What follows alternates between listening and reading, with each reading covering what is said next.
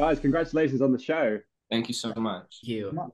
Uh, is this is this is today the first day you've been able to talk about it? Oh yeah, the group chat has been alive and well this entire time. Uh, and we have just not been able to say anything. Like uh, we've been seeing billboards of ourselves like in all of our respective homes, and it's like we you can't do anything about it. Yeah, it's very disorienting to walk down my block in New York and see my face, but not be able to like talk about it. Um, but you know, very grateful that uh, there was a deal and that we can now talk to you because today, today is the first day we're talking to any like official people about the show. Yeah, and I think apart from when the deal was agreed and signed and sealed, apart from a post on Instagram, I think yeah, this is the first we are we're actively talking about the work that we've done and the work that the team have crafted and it's nice to it's nice to be able to to to be able to share um to share the thoughts and feelings. And obviously the world has changed a lot since the first goosebumps came out. I think it was in 1992 when i was like 10 is goosebumps still scary? Have you read some goosebumps? Is it still scary? Does it still kind of hold up all these all these years later? I mean goosebumps was something that was always in the primary school or elementary school bookshelves. Um and when you're that age of course it's going to be scary um we're all a bit more adult now i'm 25 so as far as the the shock factor of that is it still as scary i don't know but the tv show is scary in the 90s as its jumpy moments the movies definitely have jumpy moments, and so does our series. And I feel like what we've been able to do with our show is bring it to a very wide audience. So there's going to be ultra scary moments to younger to a younger audience, but also I've watched the show with my parents and they're jumping out of their skin when some mm. moments happen. So like there's it, there's something scary for everyone. It just depends on how far your scare factor is?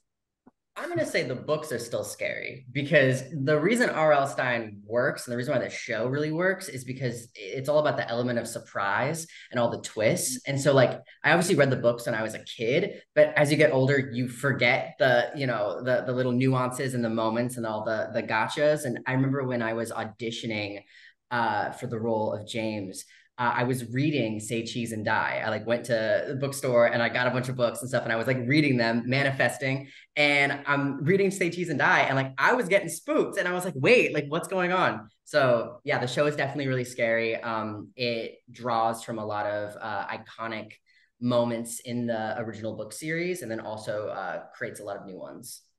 Yeah, I I mean echo everything that they said. Uh, I mean, I particularly like the the troll is like really freaky. Like seeing, uh, I remember seeing Ana plays Isabella just on set, and it would like it would get me sort of sort of uncomfortable. Um, but you know, I think the great thing about horror is that it ages really well.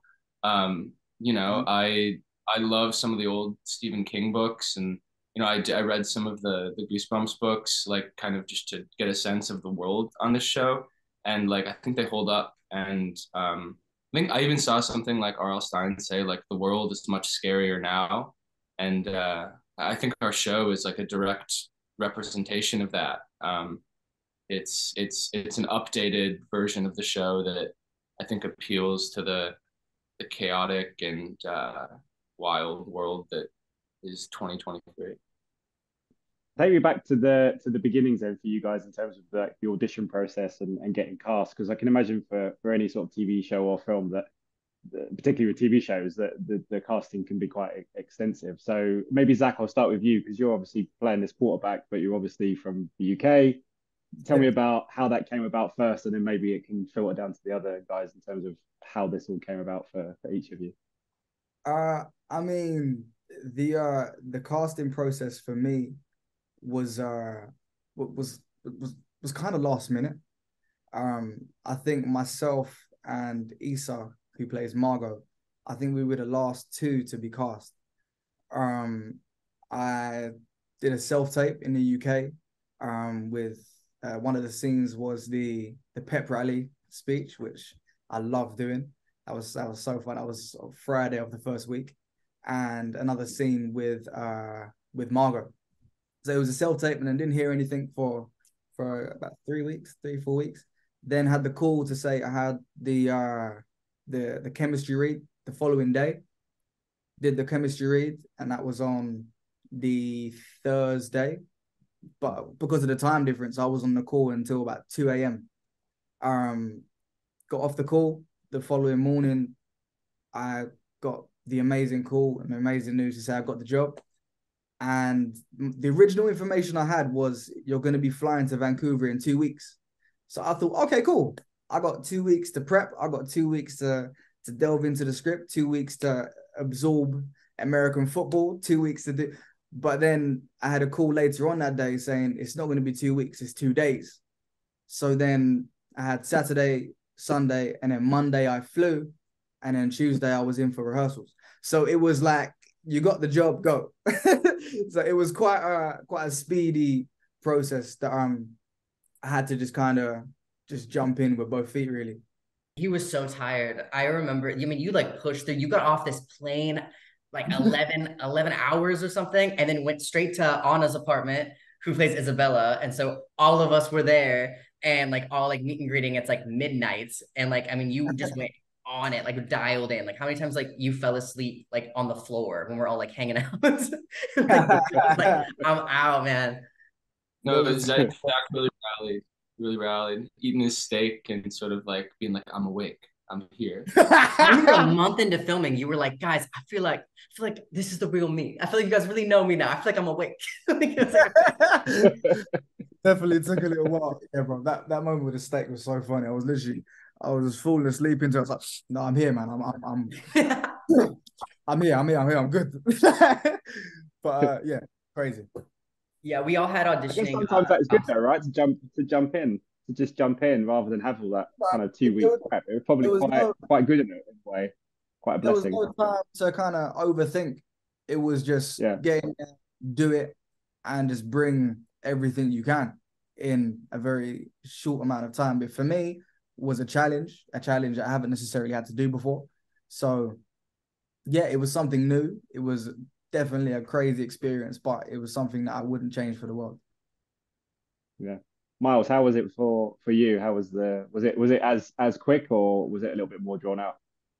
Um, yeah, I mean, like it was similar in the sense that we were doing it um all through Zoom. And so I got an audition originally for the role of Lucas.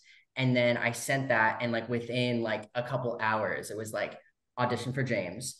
And then the next day I auditioned for James. And then I didn't hear back for a bit. And then it was like your chemistry reading. And I read with uh, a bunch of different Isaiahs because I didn't meet Zack until you know the night that he flew in and we're all in Canada. So our first time working together was um, in the pilot in the scene where it's after the pep rally and I get to see like Sam for the first time. That was the first time we ever worked together, um, which I think is like it was such a great scene and like kind of going back to um, the auditions, you know, they really wanted us to improv and really bring ourselves to the role. And so uh, in the auditioning process, I took a lot of risks and was just like throwing things out there. And that's exactly what they wanted, you know, on set. So I remember like that first um, scene we did together, it was like, you know, we were just kind of jumping off the page and like going off each other. And it was just like a really cool moment of like, oh, wait, this is really going to work. Like, this is, we could do this for six months. Cool. Like, you know, we could do this forever. Like, so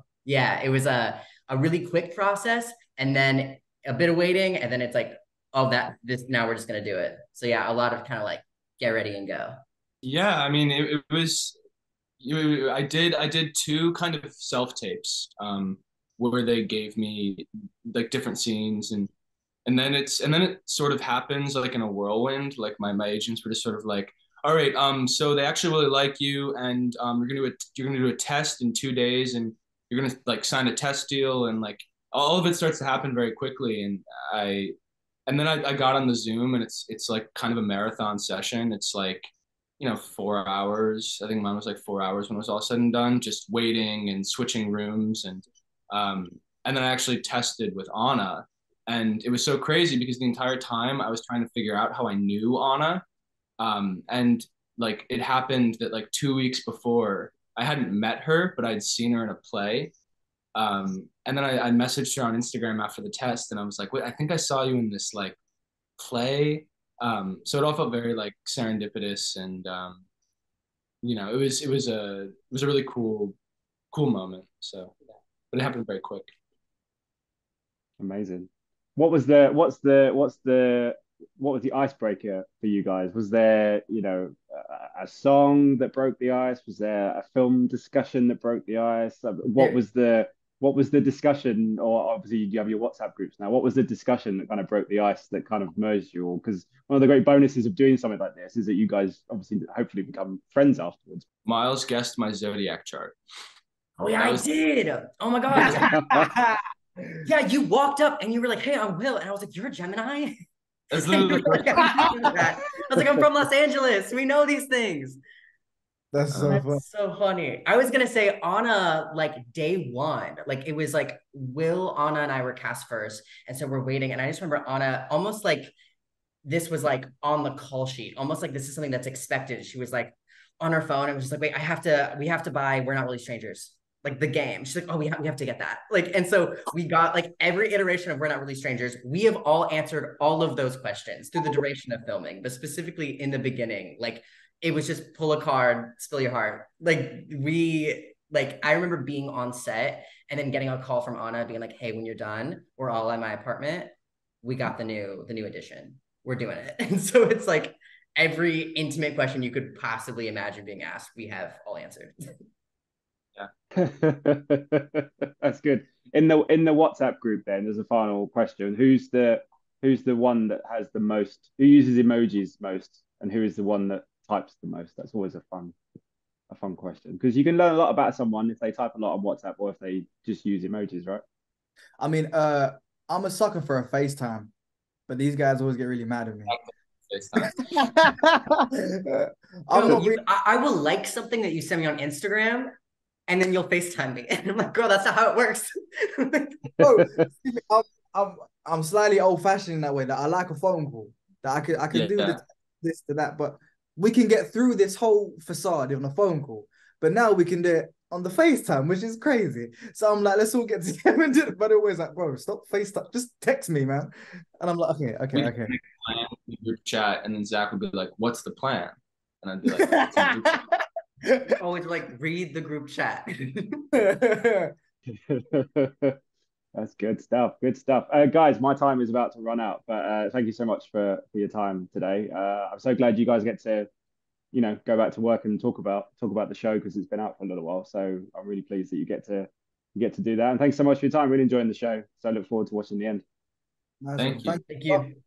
Ladies and gentlemen, you're watching Hey You Guys! Hey You Guys! hey You Guys! hey, that's what they all say. Hey You Guys! Hey You Guys!